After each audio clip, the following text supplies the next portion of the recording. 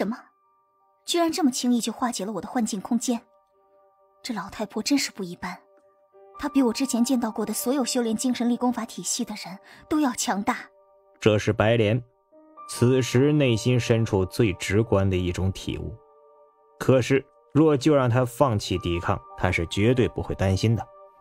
毕竟，如今的白莲妖圣很清楚，自己这一战不仅代表的是个人的得失，他代表的是亿万妖族众生的未来，更加代表徐阳的唯一关门弟子。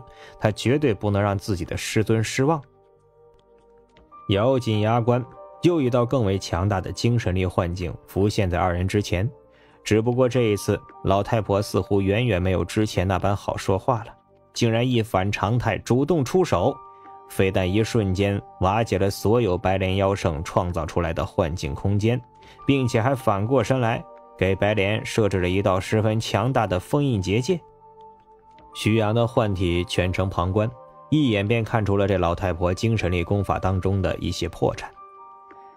原来如此啊！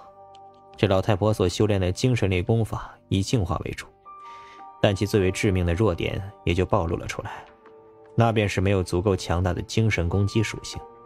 也就是说，只要白莲能够选择与他硬碰硬的话，一次性凝聚足够强大的精神力，带给对方至强一击，绝对能够轻而易举地打破这样被温水煮青蛙的窘境局面。徐阳自然是一眼就看出了，迫切想要给他传递任何信息都已经是枉然。他们双方已经完全陷入到了老太婆编织的幻境空间内，徐阳就算有心想要帮助，他也没办法强行入局。倘若徐阳真的决定以大法力直接介入，凭借自己的力量干扰这一次对抗的结局的话，非但不能起到真正意义上的帮助白莲妖圣的作用，反而会可能在他的灵魂世界落下阴影。那样的话，对他未来的修行将会产生极大的影响。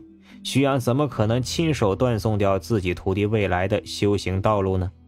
因此，当下徐阳别无选择，只能默默在心里面为白莲妖圣祈福，希望他能够用自己的力量实现突破。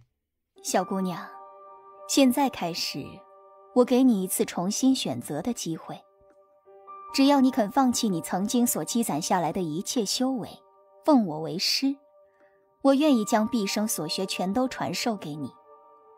你是我见到过的最有修炼天赋的精神系妖兽，更何况你本身就是人魂拥有者。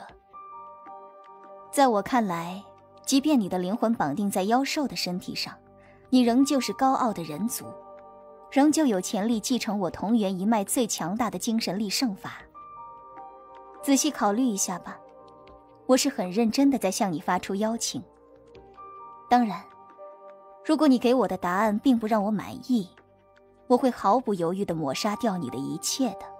老太婆已经心安理得的在白莲妖圣的灵魂世界当中扮演起了上位者的角色，而白莲此时也发现自己在这个老太婆的面前再难鼓起足够的勇气和信心，一种被对方压制的感觉分外变得清晰起来。支撑着他还没有放弃的唯一信念，便是他对徐阳的承诺。师尊，我到底该何去何从？就在白莲妖圣内心犹豫不决的时候，老太婆突然变出了一副十分狰狞的嘴脸，放肆的大笑了起来。哈哈哈哈哈！你的内心已经开始动摇了，你已经坚信这一战我是唯一的胜利者，你永远也不可能战胜得了我了。小姑娘，放弃抵抗吧，你已经堕入了我为你编织的梦境，永远也出不来了。话音一落，老太婆的本体竟然在白莲妖圣的灵魂世界当中完全消失，取而代之的是一道无比冰冷的巨大古棺。这一口冰棺已然是将灵魂世界当中的白莲妖圣完全冰封。此时的白莲妖圣五感灵石已经在极短的时间内被完全剥夺。现在的他，唯一只剩下自己的灵魂还处于活跃状态，但是他的身体，他对周围一切的感知，都已经在短时间内迅速消失。留给白莲妖圣的，仅仅只是一个冰冷的棺材，以及他瞳孔面前那个逐渐开始衰老的自己的容颜。他没有办法抵抗，就如同一个活死人一般，只能就这样在自己的脑海中默默流逝着时间，失去了自由，失去了对外界的一切联络，只剩下自己在这个冰冷的空间内等待死亡的降临。这是一种令人窒息的绝望。白脸妖圣从来都没有体验过这样的感觉，哪怕是自己之前在突破的时候游走于生死的边缘，也从来没有像此时这样的绝望。白脸妖圣终于明白，在和足够强大的精神系强者对抗的时候，自己的内心绝对不能有丝毫的动摇。一旦信念感觉有松动的话，那么这一战的结局就会注定。自己永远也不可能成为胜利者。师尊，或许真的是我做错了，我让你失望了吗？白脸妖圣落下了一滴眼泪。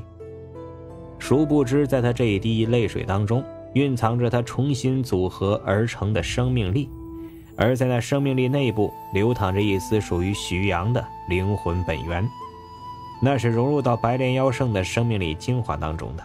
属于徐阳的一丝气息，原本早已和他的四肢百骸融合在一起。平日里，这丫头也从来不曾感受到徐阳的这一股强大的精神力本源的悸动。可是，就在自己的生命即将在这幻境当中永远沉睡的时候，那一次属于徐阳的气息一下子冲进了白莲妖圣的灵魂世界，点燃了他灵魂当中无尽的黑暗，成为了唯一且永恒的光明。傻丫头。为什么说过你永远不需要惧怕任何对手？哪怕你面前是至高神的意志又如何？只要你心中对胜利的渴望没有寂灭，你就永远不会抵达失败的深渊。这声音一次次的回荡在白莲妖圣的脑海当中，让这个丫头猛地睁开双眼。她身体当中所有沉睡的力量开始疯狂的复苏，失落的五感渐渐恢复体内，而在强大的力量汹涌之下。眼前封印着他一切的棺椁，也开始在极短的时间内迅速走向融化。哼，老妖婆，你真的以为这样就能彻底压制得了我了吗？我说过，我是徐阳的徒弟，就凭你还没有资格审判我！一声怒吼爆发，白脸妖圣彻底恢复到了自己的巅峰状态，眼前的冰棺瞬间崩碎，周围所有的一切幻境完全消失。白莲妖圣又重新回到了真实世界当中，而在他的面前，老太婆已经在震惊之下抽起手中的佛尘，朝着白莲妖圣的本体抽打了过来。